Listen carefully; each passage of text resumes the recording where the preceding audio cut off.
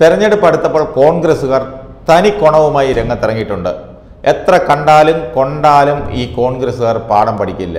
വാളെടുക്കുന്നവനെല്ലാം വെളിച്ചപ്പാടാവുകയാണ്. മൂവാറ്റുപുഴയിലെ മുൻ എം എൽ എയും K P C C vice പ്രസിഡന്റുമായ ജോസഫ് വാഴയ്ക്കനെതിരെ പോസ്റ്റർ യുദ്ധവുമായാണ് കോൺഗ്രസുകാർ ഇപ്പോൾ രംഗത്തിറങ്ങിയിരിക്കുന്നത്. മണ്ഡലത്തിലെ സീറ്റ് മോഹികളായ ചിലരാണ് ഇതിന് പിന്നിലെന്നാണ് ആക്ഷേപം ഉയരുന്നത്. കോൺഗ്രസ് ഗ്രൂപ്പ് പോലും പോസ്റ്റർ യുദ്ധത്തിന് കാരണമായതായി സൂചനയുണ്ട്. ഇയാൾ മൂവാറ്റുപുഴയിലെ കോൺഗ്രസിന്റെ അന്തകൻ.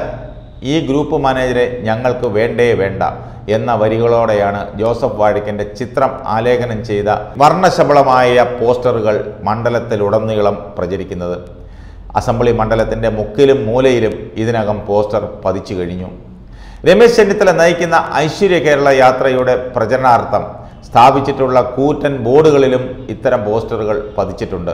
തുടക്കത്തിൽ ഗ്രാമപ്രദേശങ്ങളിലായിരുന്നു പോസ്റ്റർ പ്രത്യക്ഷപ്പെട്ടതെങ്കിൽ പിന്നീട് നഗരപ്രദേശങ്ങളിലേക്കും വ്യാപിപ്പിക്കുകയായിരുന്നു. ചില സ്ഥലങ്ങളിൽ കോൺഗ്രസ് പ്രവർത്തകർ പോസ്റ്ററുകൾ നീക്കം ചെയ്തെങ്കിലും തൊട്ടടുത്ത ദിവസം ഇതേ സ്ഥലത്ത് വീണ്ടും പുതിയ പോസ്റ്റർ പതിപ്പിച്ചു. കഴിഞ്ഞയാഴ്ച കൊച്ചിയിലെത്തിയ എ സി സി ജനറൽ സെക്രട്ടറിയെ നേരിൽ കണ്ട് യൂത്ത് കോൺഗ്രസ് ഈ മണ്ഡലത്തിലെ സ്ഥാനാർത്ഥിത്വം സംബന്ധിച്ച് നിവേദനം നൽകിയിരുന്നു. മണ്ഡലത്തിലെ വോട്ടറായ പുതുമുഖത്തെ സ്ഥാനാർത്ഥിയായി നിശ്ചയിക്കണമെന്നായിരുന്നു ഇവരുടെ ആവശ്യം. യൂത്ത് കോൺഗ്രസ് സംസ്ഥാന ജനറൽ സെക്രട്ടറി അഡ്വക്കേറ്റ് ആബിദലി നിയോജകമണ്ഡലം പ്രസിഡന്റ് സമീർ കോണിക്കൽ ജില്ലാ സെക്രട്ടറിയായ റിയാസ് താമരപ്പള്ളി എന്നിവർ നേരിട്ടെത്തിയായിരുന്നു നിവേദനം സമർപ്പിച്ചത്. ഇതിന്റെ അലയൊലികൾ അവസാനിക്കും മുൻപാണ് സേവ് കോൺഗ്രസിന്റെ ലേബലിൽ പോസ്റ്ററുകൾ പ്രത്യക്ഷപ്പെട്ടത്. തദ്ദേശ ഭരണ സ്ഥാപനങ്ങളിലേക്ക് നടന്ന തെരഞ്ഞെടുപ്പിൽ സ്ഥാനാർത്ഥിത്വം ലഭിക്കാതെ പോയ ഒരു വിഭാഗം കോൺഗ്രസ് പോഷക സംഘടനാ നേതാവിന്റെ നേതൃത്വത്തിൽ യോഗം ചേർന്നിരുന്നു. ഈ യോഗത്തിൽ നിയമസഭാ സ്ഥാനാർത്ഥി നിർണയം സംബന്ധിച്ച് അഭിപ്രായ രൂപീകരണം നടന്നതായാണ് വിവരം. എ വിഭാഗത്തിൽ ഉൾപ്പെടുന്നവരായിരുന്നു യോഗത്തിനെത്തിയത്. ഇതിനിടെ പ്രൊഫഷണൽ കോൺഗ്രസ് സംസ്ഥാന പ്രസിഡന്റ് അഡ്വക്കേറ്റ് മാത്യു കുഴൽനാടനെ സ്ഥാനാർത്ഥിയാക്കണമെന്നാവശ്യപ്പെട്ട് സമൂഹ മാധ്യമങ്ങളിൽ വ്യാപക പ്രചരണവും നടന്നിരുന്നു. ചില പരിപാടികളിൽ മുഖ്യ അതിഥിയായി കുഴൽനാടൻ എത്തി മണ്ഡലത്തിൽ പ്രവർത്തനം ആരംഭിക്കുകയും ചെയ്തു. അതേസമയം ജോസഫ് വാഴക്കനെതിരെ പോസ്റ്റർ പ്രചാരണം നടത്തിയവരെ കണ്ടെത്തണമെന്നാവശ്യപ്പെട്ട് Muvattupuzha block president P S Saleem Haji പോലീസിൽ പരാതി നൽകി. Joseph Vazhakkan M L A ആയിരുന്ന കാലത്തെ പ്രവർത്തനവും നിലവിലെ എം എൽ എയുടെ പ്രവർത്തനവും ജനങ്ങൾ വിലയിരുത്തി തുടങ്ങിയതോടെയാണ് തരംതാണ പ്രചാരണം ആരംഭിച്ചതെന്നാണ് സലീം ഹാജി പറയുന്നത്.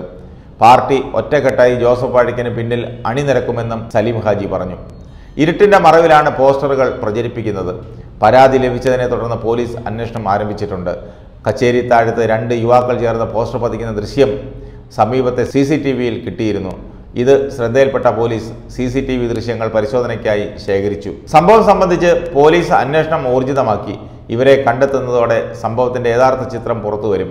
വൻതുക ചെലവഴിച്ച് ഓഫ്സെറ്റ് പ്രസ്സിലാണ് വർണശബളമായ പോസ്റ്ററുകൾ പ്രിന്റ് ചെയ്തിരിക്കുന്നത്. അതുകൊണ്ട് തന്നെ ഒറ്റപ്പെട്ട സംഭവമായി കണക്കാക്കാനാവില്ല. മാത്രമല്ല മണ്ഡലത്തിന്റെ വിവിധ പ്രദേശങ്ങളിൽ ഒരേ സമയം പോസ്റ്ററുകൾ പ്രത്യക്ഷപ്പെടുന്നതും പിന്നിൽ ഗൂഢാലോചന ഉണ്ടെന്നതിന്റെ തെളിവാണ്. നിയമസഭാ തെരഞ്ഞെടുപ്പിന് മാസങ്ങൾ മാത്രം അവശേഷിക്കെ പ്രമുഖ നേതാവിനെതിരെ നടത്തിവരുന്ന പ്രചാരണം വരുന്ന ആളുകളിൽ പ്രശ്നം സങ്കീർണമാക്കും. സ്വന്തം പാർട്ടിയിൽ നിന്നാണ് ഇത്തരം നീക്കങ്ങൾ ഉണ്ടായതെങ്കിൽ കോൺഗ്രസ് കടുത്ത പ്രതിരോധത്തിലാകും.